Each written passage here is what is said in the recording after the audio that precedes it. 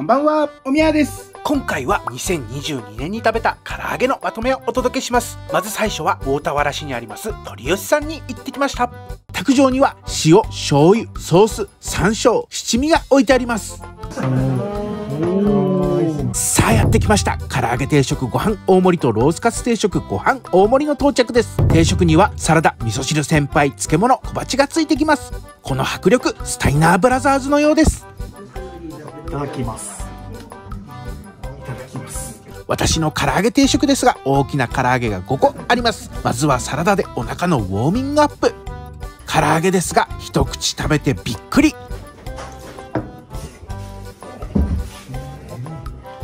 サクふわの衣でとにかく柔らかくジューシーで味付けはあっさりで肉の旨味と甘みがしっかり感じられるので肉を味わうといった唐揚げです。断面失礼しますがプルプルで柔らかですごいです。なりばんくんも一口食べて。ん？驚きがすごくあります。驚いた。まず食べたことない。食感がまず初めての食感。です、うん、すんごく柔らかい。すんごく柔らかくジューシーで美味しいです。柔らかくて。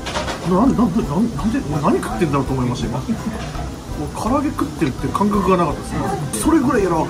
美味しいすごくまさに地獄の番犬スコット・スタイナーの投げっぱなしジャーマンスープレックスのような力強さ。シャキシャキのレンコンと漬物がさっぱりさせてくれます。味噌汁先輩ですがチワス。わかめの味噌汁で貝のような出汁が効いて濃厚でうみゃーです伝説のスコット・スタイナーとトリプル H の腕相撲を思い出させるようなランチね。そういえば鳥吉さんの駐車場なんですけれどもお店の目の前に専用駐車場があります。おみゃー隣パン組んで何かブラザーズで組んでみたら面白いかもね。とても美味しくボリュームがありリピート決定の大満足のランチでした。完食です。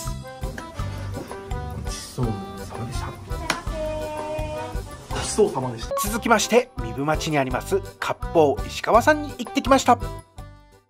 卓上には醤油塩唐辛子山椒が置いてあります。はいすいません。さあやってきました。鶏竜田のピリ辛だれご飯大盛りの到着です。味噌汁漬物小鉢がついてきます。いただきます鳥立つさですが全日本プロレスの石川修司のように大きいです。サックサクの衣で油と衣とネギの風味がいいです。ほのかな酸味甘み辛みのタレが鶏竜田を引き立てます。そしてお肉がジューシーでご飯がふっくらで風味がよく海派です。鶏竜田の大きさもご飯の大盛りの量も多くて大満足です。まさに石川修司のジャイアントスラムのような破壊力。味噌汁先輩ですがチワス味噌汁先輩ですがしじみの味噌汁でしじみチャンスといったところでしょうか。しじみだけどとてもあっさりした先輩です。漬物がいい箸休めで。春雨きくらげもやし人参の小鉢はピリ辛で旨味がありシャキシャキです。鳥立田はお宮のように横に大きくご飯はふっくらねそういえば割烹石川さんの駐車場なんですけれどもお店の横に広々とした専用駐車場があります。料理はボリュームある方がいいけどお宮は少なめにならないとダメね。鳥立田に唐辛子をかけて食べてみましたが間違いのない美味しさ。ご飯が進みます。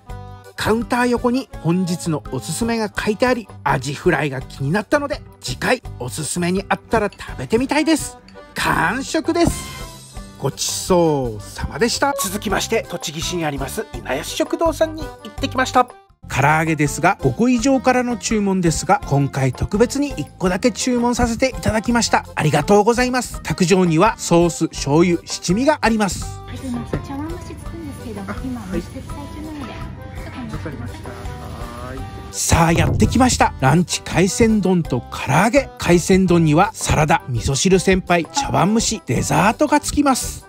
いただきます。唐揚げですがからしとサラダがついてきます。1個が大きいです。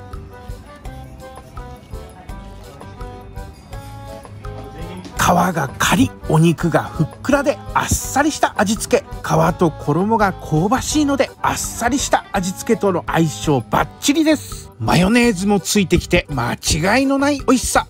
海鮮丼の後のジューシーさ。まさに佐竹正明からの判定勝ち。そしてジェロム・レバンナからの大金星を取ったような美味しさです。味噌汁先輩ですがチワスチワスチワス。味噌汁先輩の具材ですが玉ねぎ大根わかめ豆腐三つ葉が入っています。優しい味わいですがしっかりとした出汁と玉ねぎの旨味が出た味噌汁です。豆腐だと思って食べたこちらなんですけれども不倫でした。優しい卵感と甘み。はい食後に食べます。おみゃーもいろいろと大金星をあげてほしいわね。そういえば稲安食堂さんの駐車場なんですけれどもお店の近くに広々とした専用駐車場があります。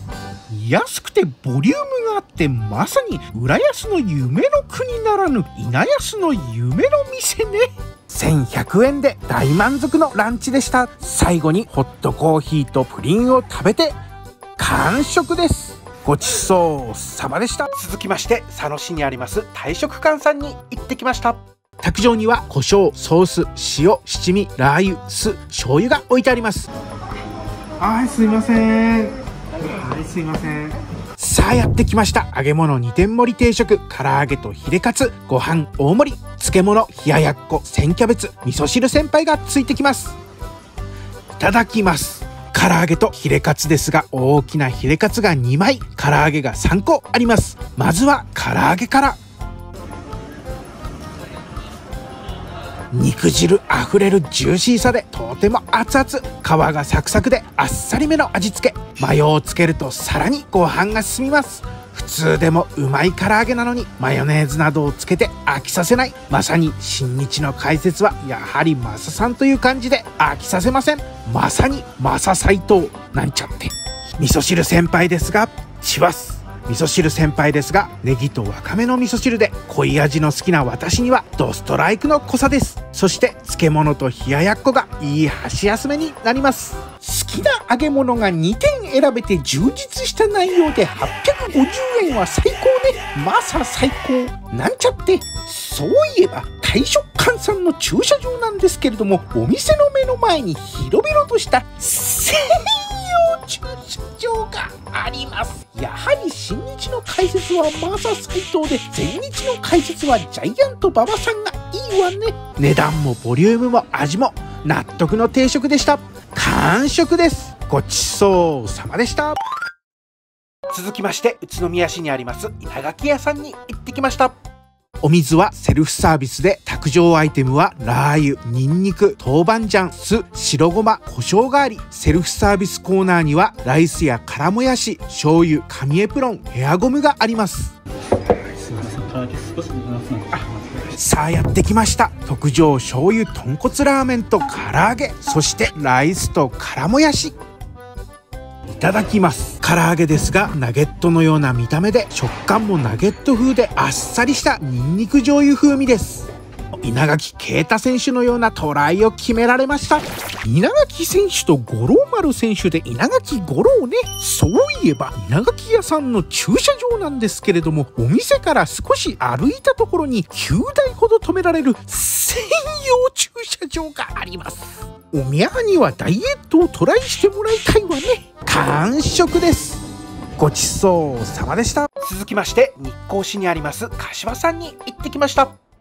すいませんすっごいありがとうございますうわはいすいませんここんなん絶対ないよね。すごいっすねさあやってきました。若鶏骨付き。唐揚げ半身のセット。すごい迫力です。まさに東洋の神秘といった感じです。付属の塩をつけてかぶりつきたいと思います。う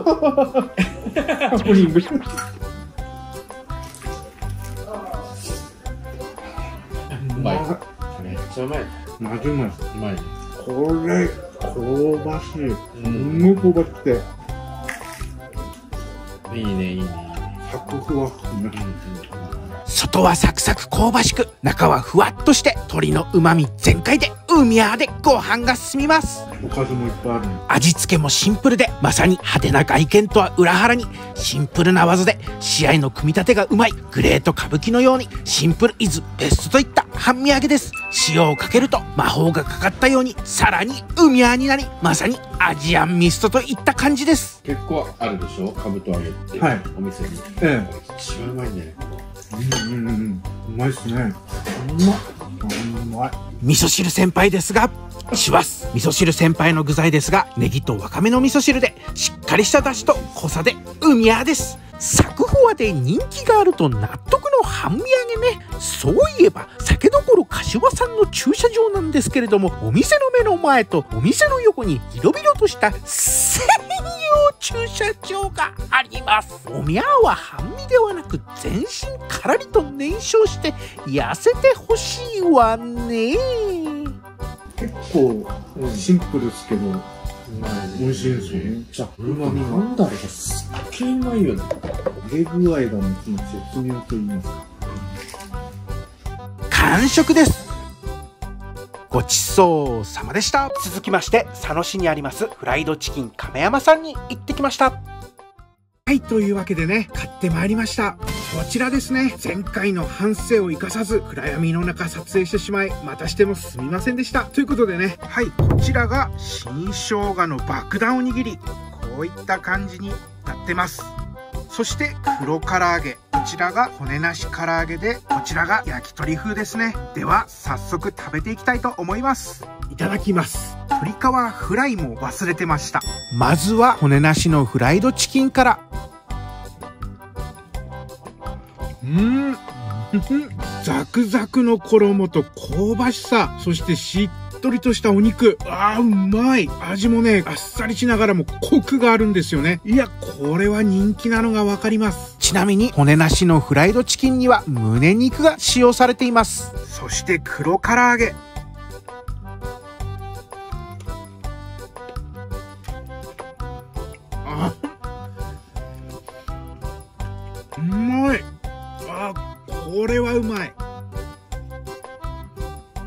としたお肉そこにこのほのかにスパイシーでこのソースのコクがすごいです。しかしながらにソースが激しく主張するわけではなく影でいい感じで支えてます。まさに影で支えてる広斎藤のようですね。いや美味しい。さあそして鶏皮唐揚げ。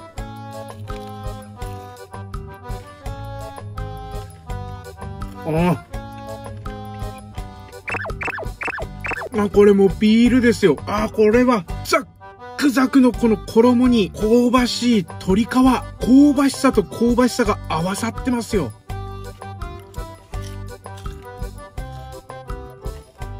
あ、これはやばい。まさにうまさと力強さのタッグ。長谷健タッグですね。長谷博と佐々木健介のタッグのようです。さあ、そしてこちらが焼き鳥風。うん。タレが衣にタレが染み込んでしっとりした衣そしてタレが甘すぎないんですよ。こうどちらかというと旨味とコクがすごいですこのタレ。なのでねもうバクバク食べちゃいます。おみゃーは前回の反省点を生かさないでまた暗闇で食べたわね。そういえば鳥善さんとフライドチキン亀山さんの駐車場なんですけれどもお店の目の前に専用駐車場があります。この暗さ覆面レスラーの暗闇の虎ブラックタイガーもびっくりね食べてるのは鳥だけど。やはり私は一番ねこの鶏皮がお気に入りなんですけれども唐揚げはこの黒唐揚げがいいですね。これは癖になる鶏皮。これ人気急上昇中だそうです。納得できます。ちなみに焼き鳥風の唐揚げと黒唐揚げはもも肉でした。完食です。お腹いっぱいですごちそうさまでした。続きまして小山市にありますタンポポさんに行ってきました。タンバリンで店員さんを呼びます。以前お店のお母さんにジャンボオムライスの量を聞いたら1キロくらいと言われて見事に1.5キロくらいあったので今回も聞いたところご飯1合半くらいと言われたので察しました。卓上には醤油ソース七味塩が置いてあります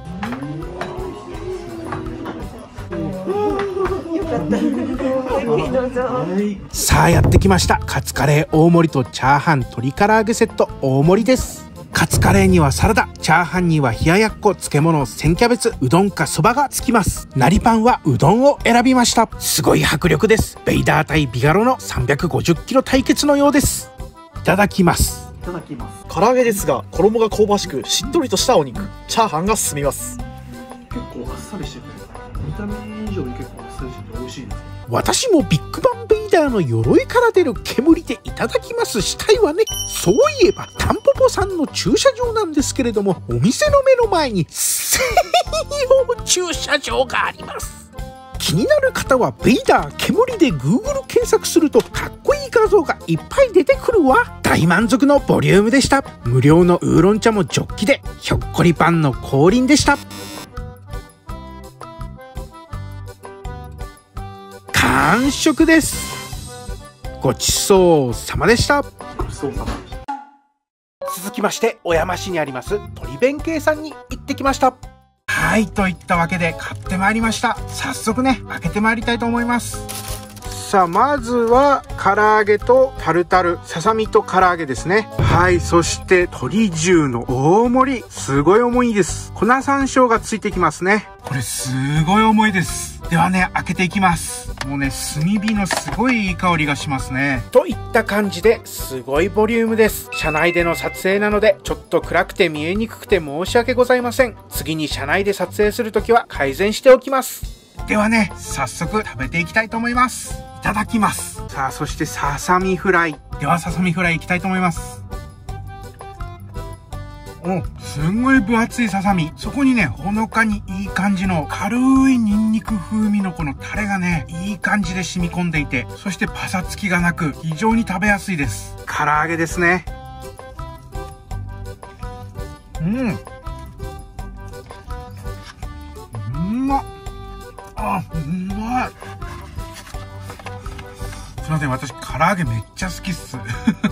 皮がカリッとね、非常にジューシーです。肉汁がジュワッと、ささみと同様にね、いい感じのニンニク醤油が染み込んでて美味しいですね。とてもうみやです。まさにね、こちらの鶏中が大黒棒弁慶の喉輪落としのような迫力で、こちらはね、グレート歌舞伎のトラースキックのような破壊力です。もうね、このタッグ、大黒棒弁慶とグレート歌舞伎のタッグ、幻想戦士団のように最強タッグですね。さあ、そしてタルタルをつけて食べてみます。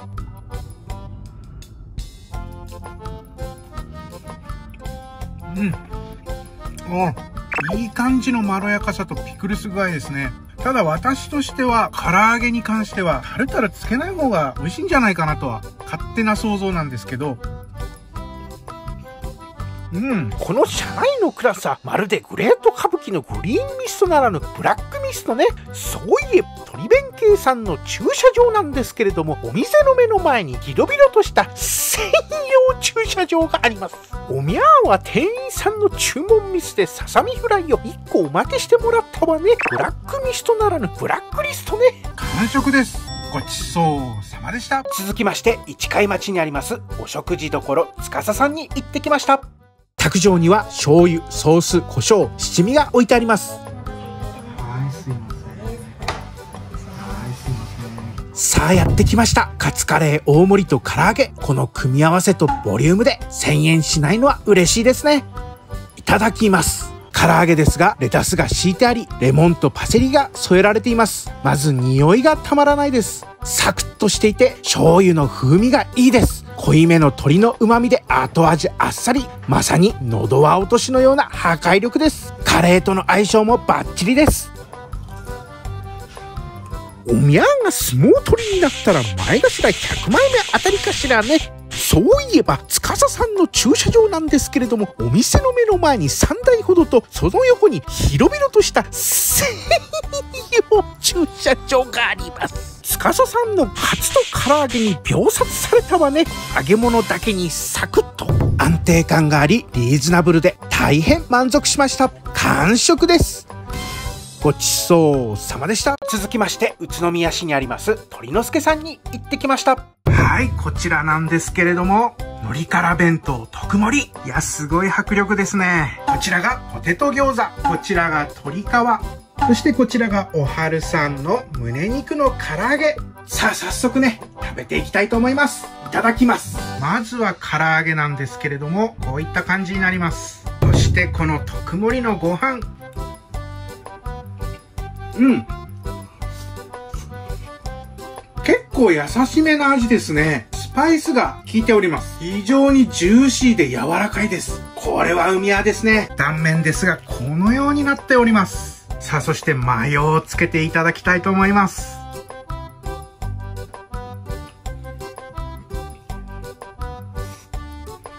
まあ、マヨは間違いないですね。さあ、そして胸肉ですが。うんうんうんうんうん。変なパサパサ感はなくてね、しっとりとして非常に食べやすいです。しかしながらやはり私は、もも肉派ですね。なりパンくんは胸肉派と言ってますね。もも肉よりあっさりなので、とてもマヨネーズと合います。そして鶏皮ですが、大きいですね。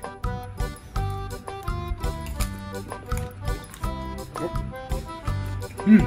結構ね、甘めな味付けですね。そして鶏皮、鶏皮、鶏皮らしくじゅわっとね、そこから来てめちゃめちゃうまいです。ただね、ご飯のおかずというよりはお酒に合いますね。甘めの味付けなんでね、お子さんでも食べやすいんじゃないかと思います。本当にね、パリパリなんでおせんべい感覚ですね。優しい味わいで食べやすい唐揚げや鶏皮ね。そういえば、鳥之助さんの駐車場なんですけれども、お店の横に専用駐車場があります。おにゃーは私のウーバーイーツね。残念ですが、出前館です。お米も甘みがあり、大満足でした。はい、といったわけで、完食です。ごちそうさまでした。続きまして、宇都宮市にあります、ひろきさんに行ってきました。卓上には七味や醤油、お手手の消毒用アルコールが置いてあります。すいません。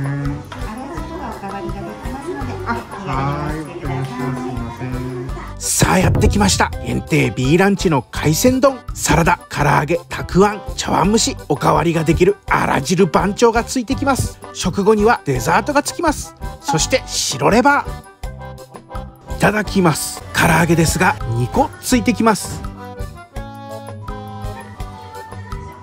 とても柔らかで上品なあっさり味。しかしながらに衣がサクサクで香ばしくご飯が欲しくなります。私の大好きな広斎藤の戦闘のようなうまさと大きさそして味噌汁先輩ではなくあら汁番長ですが。おっす。あら汁番長ですが濃いめで出汁がしっかりして油のコクとうまみがたまりません。まさに荒武者と呼ばれているが普段はおとなしい後藤弘樹のように上品ながらもしっかりとした味のあら汁番長です。お長のりをと言ったら襟足が長かったわね。そういえば弘樹さんの駐車場なんですけれどもお店の目の前に専用駐車場があります。襟足が長いと言ったら辰吉丈一郎か穂長のりおかメキシコの覆面レスラーを思い浮かべるわね。値段味ボリューム最高でした。食後にフルーツゼリーをいただき完食です。ごちそうさまでした。続きまして高根沢町にありますママキッチンさんに行ってきました。してるんですけど。出たミスターチルドレン。少しで暗いはみ出しはい、といったわけでね、なんか、えらいことになってます。これから開けていこうと思うんですけれども、こちらが、おはるさんのママ吉弁当。はみ出してますね。少しぐらいはみ出しちゃっていいさ。ミスターチルドレンですね。いただきます。いただきます。ノーザンライトボム。唐揚げ、いってみましょう。すげえでかっ。こんな大きかったっけ？めっなんかすごい大きいよね。ちゃでかくない？これはね、以前私が食べたママ吉弁当で、唐揚げと甘酢がかかった唐揚げなんですけれども、今回はね、五穀米に変更ということで、このね、桜大根とポテトサラダがついてますね。下に気持ち程度キャベツがいらっしゃるんだねおお、千キャベツが thank you だね。うんうんこれですね美味しいですねすごい巨大、巨大落石のようですね。甘酢ですね。うんぱりするねこっちはねじゃあね、食べていきたいと思います。うん。うまっ。このね、サクサクの中にジューシーなお肉ね。で、味もね、あっさりしてるんだけど、しっかりと染み込んでる感じだね、これね。あー、うまいね、これだよ、これ。これね。うんうんさあそして甘酢唐揚げうんうまいこの優しい酸味の中にこのごまの風味がいいねごちそうさまでしたごちそうさまでした。ママキッチンさんの唐揚げをママにお裾分けだなんてお母さんラブでいいことね。続きまして日光市にあります味の大塩さんに行ってきました。はい、というわけでね、買ってまいりました。早速ね、開けていきたいと思います。さあ、こういった感じでね、おしぼりとレモンが添えられていまして、さあ、このように迫力がありますね。さあ、こういった半身揚げになります。そして、レモンを添えていきます。ちなみにこちらですね、温かいうちは小骨も食べられるということで、さらにね、冷めても美味しいということです。そしてね、味噌汁先輩とね、ご飯も用意しちゃいました。いただきます。さあ、重い、重いです。いや、すごいこれ。これ見てください、これ。う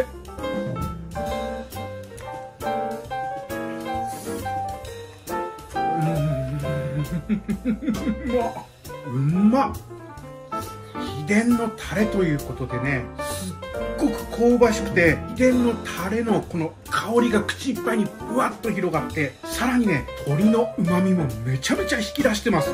これは海屋です。これねご飯もレモンにもめちゃめちゃ合いますね。なのでちょっとレモンをかけてねご飯と一緒にいきたいなと思います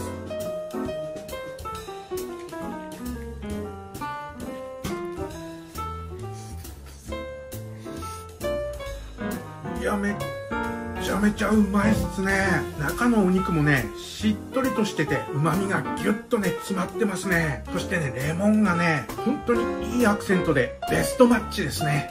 橋本真也と平田淳二のタッグをね思い出させるようなこのレモンとチキン。この骨の部分がね香ばしいおせんべいのようでほんとうまいっすね。えすごっ。ねうまっ。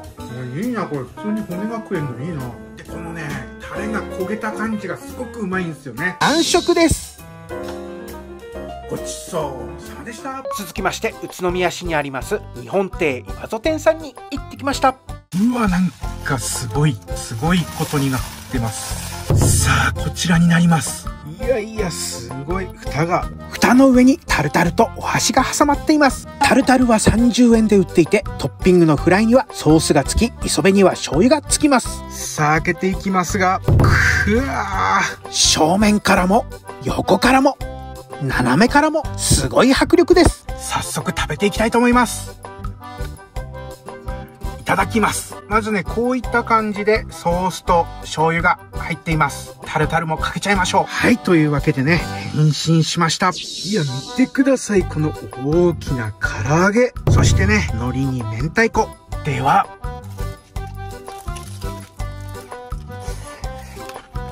もも肉でとてもジューシーで大きいのに柔らかく中までしっかり濃いめの味がついてご飯が進みます明太子も濃いめのピリ辛でさらにご飯が進みます。G1 クライマックス優勝決定戦でのケニー・オメガとの激闘を思い出させる海穴唐揚げです。断面失礼しますがこういった感じになります。感覚的にご飯は約 500g ちょいで唐揚げは1個約 100g くらいありましたボリュームだけではなく味もとても美味しいお弁当ね。そういえば日本亭岩戸店さんの駐車場なんですけれどもお店の目の前とお店の奥に専用駐車場があります。おみゃーのボディはアラム車ね。ジューシーで柔らかくご飯の進む唐揚げで強烈で荒々しいお弁当でした。まさに紙切りデスマッチ前に散髪してきた。後藤弘樹のようなアラムシャなお弁当でした。次回はカレー唐揚げと赤辛を食べてみたいです。完食です。ごちそうさまでした。最後は日光市にあります琉協園さんに行ってきましたお部屋はセルフサービスで卓上には醤油ラー油酢胡椒が置いてあります。あすいませんあ大丈夫ですさあやってきました。唐揚げ定食ご飯大盛り。大きな唐揚げがここに。小鉢は辛もやしデザートは杏仁豆腐です。いただきます。大きな唐揚げが5個鮮キャベツとマヨネーズとケチャップが添えられていてネギが乗っています。まずはそのまま。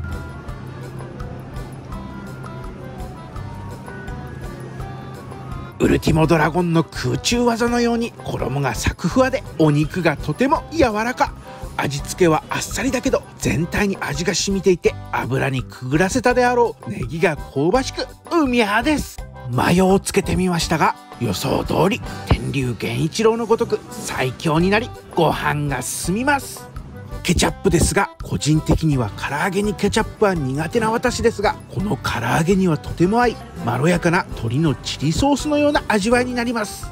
ほのかな辛さとごま油の風味の辛もやしはさっぱりして唐揚げの後に食べるといい箸休めになります。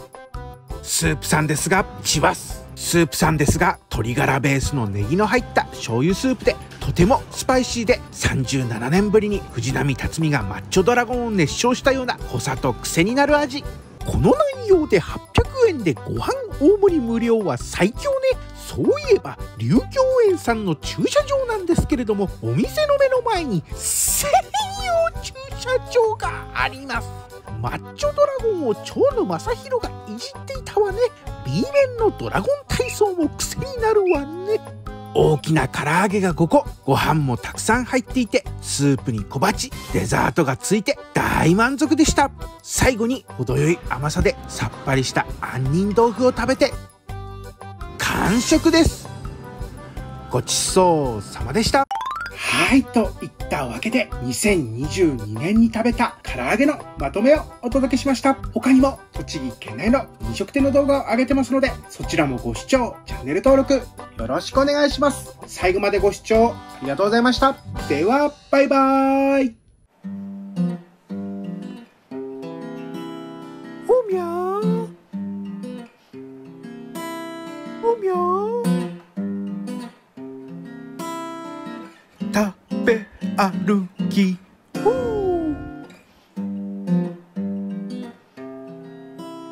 おみゃーおみゃーおみゃかしらへい